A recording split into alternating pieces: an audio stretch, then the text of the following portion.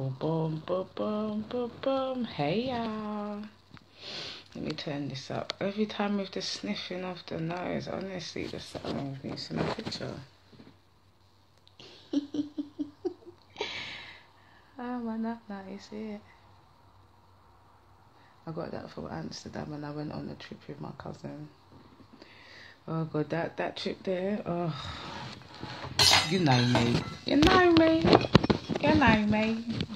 You know how I am. you know how that trip ended. It was fun though. I went there on a plane, came back on a coach, and I got to see the whole of Amsterdam. It was really nice. Is that's when I realised, yeah, everywhere is the same. Wales, you see Aldi in Wales. I'm like, oh look, there's Tesco. Say nothing. Everywhere's just the same. Oh, I came live here to say something, but now I forgot what I wanted to say. Click on it. That's what I wanted to say. Thank you. Thank you for the donations, everybody. Thank you. I mean, you see my followers go up and down, right? Because some people just unfollow. Some people I just take off because I'm a person. If you're going to be following each other, I feel like you're meant to interact with each other like that. And obviously, I see their posts in it. So if they've got followers, I don't really watch how much followers they have. But I'm like, okay, so you've got 34 likes, yeah, on your post. That's fine, isn't it? But if you're not liking not one of my posts, you have to come off. I'm sorry. So most of the people that I have as followers now, the actual business people that run a business that are probably very busy and that probably doesn't sit down on Instagram. They just use their Instagram for to show their showcase their business, right? So that's fine with me. I don't mind that. And some of them I just like their pictures in it, but I've taken a lot of people off because they're just the interaction's not there, and it's. I don't. I don't, I don't like to. It's long, isn't it? It's long. There are 34 likes, and my pictures can't even get five likes. I'm like, something going on here. Something going on here. So I just rather not have 50, 60 followers that are not following me. Do you get it? Like, you're not following me. Like you're not following me. That's what it says, followers, isn't it? So you meant to follow me and like my posts and that. Like, like these videos that I do, you don't have to like them because most of the time I'm just being a nutter, just saying what I feel like saying at the time. But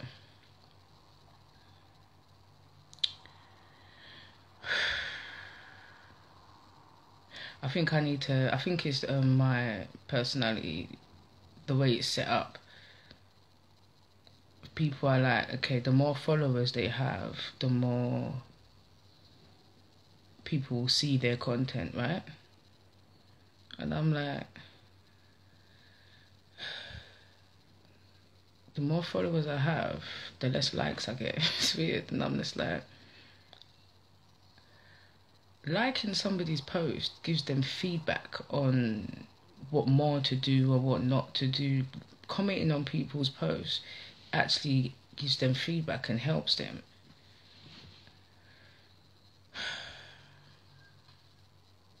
I don't know. I don't know. I don't know. But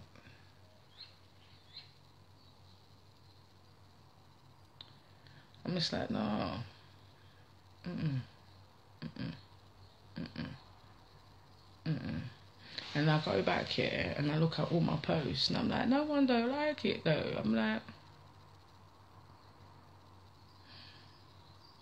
I like it, so I'm gonna keep doing it. I don't care about what other people do. I'm just gonna keep doing it, innit? Fuck it. Someone will like them, innit? I mean, what's better than likes is donations. Mm-hmm. Like, so I can or so we can, the whole Leor Foundation team, so we can move things along faster in it and quicker. But I suppose the fact that I'm getting any donations, I'm just very grateful for. I'm very grateful for that. Yeah. I'm grateful that people entered the competition. As you can see, I put up the um, post of their avatars. Yeah, I'm. You know, I'm well happy about that. Like, yeah, like I got dressed anyway. I posted on YouTube this morning because this year was moving nuts. So let me get up, get dressed. Okay, life in the in an ADHD person's world, or a person with avoidant personality disorder, or a person with anxiety and panic attacks. Yeah. Put your clothes out from the night before. Yeah before you like even halfway through your day like even now what's the time? Okay it's 10 to 11 10 51 yeah? Now pick out your clothes what you're going to wear tomorrow yeah? And stick to it. I picked these out from yesterday except for the t-shirt but i picked out my clothes from yesterday for one less thing that i have to do today and it worked because I'm tired now. Like, I'm tired. I've only woke up at like six this morning, but I'm tired now because of trying to get this child to school, trying to just pattern my life, in it. So I'm tired now. So I'm just like, oh, to add trying to find something to wear this morning. That would have just been. I wouldn't have. I wouldn't have got dressed. I would have avoided it. Yeah, I'd just avoided it because, like, even now I'm meant to be doing some paperwork and I'm just avoiding it. I'm just here chatting to y'all because I'm like, nah, I don't want to do that still. I'm in my picture room. This is my picture room. Can you see? Mm, my picture room. I got loads of pictures. Mm. I like this picture. I'm really digressing it. I'm a digresser, bro. Can you see? Choo I like that one. Mm. So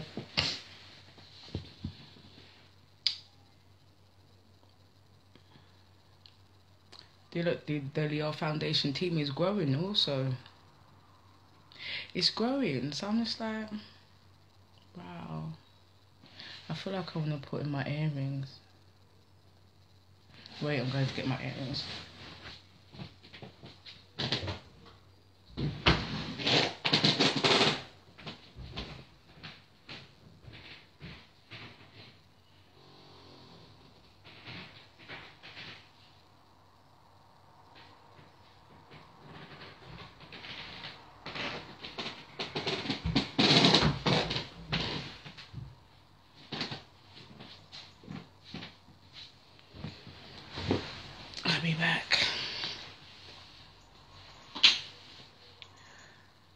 So normally, when you give and donate to a charity, you don't really see the person or the people. You just see their their representatives. You don't see the founder and things like that.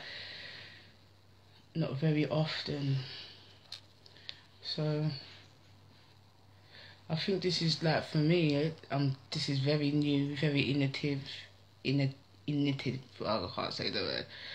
It's like before its time. You see what I'm saying? So like it's like it's a community foundation international community growth and development project. I'm not reading nothing, I'm literally trying to put my earring in. This is what it was, and this is what it's been from the start. The Leor Foundation International Community Growth and Development Project 2021 to 2025, and it's international. So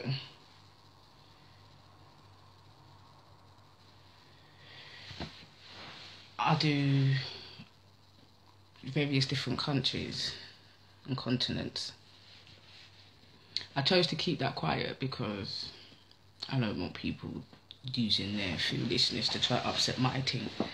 But yeah, that's what's been going on. So the team is growing. It's very growing very fast. I'm trying to convince them to like do their own platform. Let's sync it together. Woo woo woo. But takes time. It just takes time. That's all it is. It just takes time. So this is Buki, the founder of the Leor Foundation, the creator of the International Community Growth and Development Project 2021 to 2025. This is me. So who do I need now? Guess who I need now? Admin. You, do you like filling out forms? Yeah, boy. If you like filling out forms, yeah, get at me, bro. If you like getting this money, like getting funding and all of that, get at me, bro. Because you see me? Hey, I've been struggling, oh. I've been struggling, oh. Oh, yeah. I have been struggling, oh. Look here.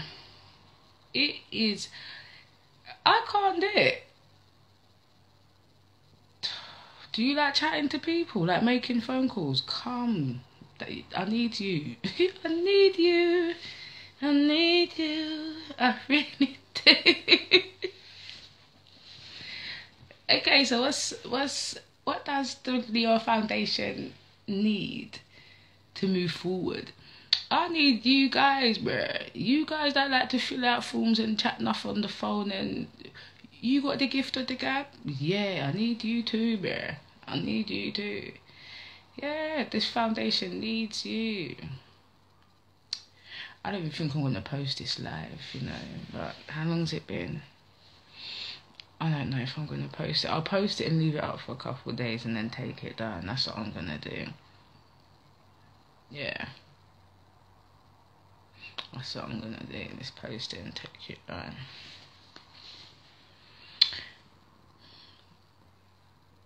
the donations are coming in though, so I'm just like, the children are entering the competition, so I'm just like, get the children, get their parents, and listen. The next one is yeah, um, they want to go go karting. Cause I spoke to them and I said, so what what is it that you want to do as a group, you know? They was like go karting, so I was like, okay. And I know you're like, why can't their parents pay? And I'm like, look, just get some community spirit, please. Please. You know what their parents pay for? All of this stuff. Like, let's get some community spirit. Come on.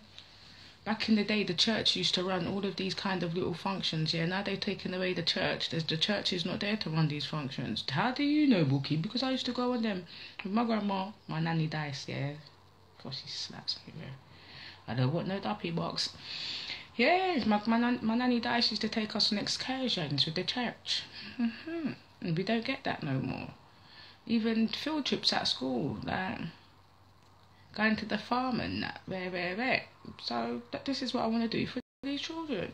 These 14 year olds, 15 year olds, that, that they don't know about the economy. They don't understand about agriculture. They don't understand about how things work. They don't understand that. So it's this age now. Like you're taking children to the farm at like seven, eight. We don't care about. They're like, oh, we that's where, that's sheep and that's cow. That's what we eat. We didn't even think we didn't care. You know them sensitive ass kids just bare body. I don't want to eat the shit, Man, listen, we didn't care about that. 14, 15, 16, 17, 18, 19, they need to be going to the farm. They need to be understanding where their food comes from. And this is why I'm I'm advocating for them. You get it? Like as a 14, 15 year old, yeah, that's something that I needed to know. Do you get it? Like, okay, so from the farm to the shop, from the shop it's economy. We need they, they need to know these things. And if nobody the school ain't really trying to teach them, Parents are hard working, they ain't really got time. So this is where the community comes into it. This is where foundation and churches come into it. And because the church ain't really see it. I ain't trying to diss them or nothing here, but I'm saying I remember going seaside. I remember woo woo woo. Like I remember these things up until the other day. Like France trips, going to France and all of these things there. So yeah, and certain of them things now from us at our age, as young parents, young carers, as young children, this is what we need to be teaching our children. Oh my God, I actually sat there with my hand like that. Ugh. This is what we need to be teaching them. So it's important. And as I said, parents are working, they haven't got time and they're tired It's mad, it's mad, it's mad, it's mad. I spoke to the children up here and I'm like, what, you haven't seen the sea? what? What? That's really realistic. There's a place up here called Hilltop here. And like, say 20, 25 children. And I'm talking to these children. I'm like, well, you haven't seen the sea. You haven't been to the beach. That's mad. I took one girl called Chloe to the um, Blackpool. And she was like, wow. Like, I'm saying, but you are a big 18 year old child. How can you not? How can you not see the sea? From there, I started to say, nah, that's mad, you know. it's mad. It is mad. You, you've not seen the sea. Like you've not been to the seaside. No, I had to take her real fast. Still had to take her in the car, just take her up there and be like, yeah, look, this is the seaside, brother. That's what you saying. So yeah, I have a little you get me? A little rep up here. Still I got a little rep for like doing little things. But I'm saying no, I wanna make it a big, big thing. That's what I wanna do.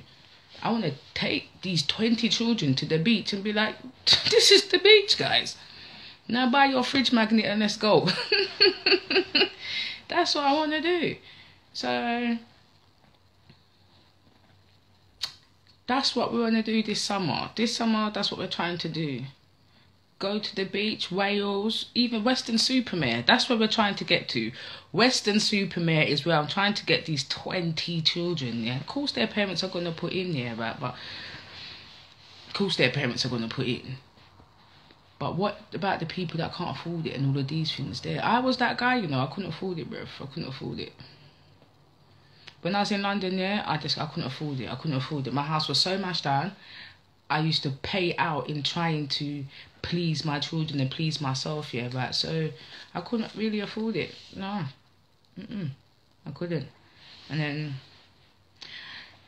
I took my um my last son to South was it? No, South End, not South End. What is it?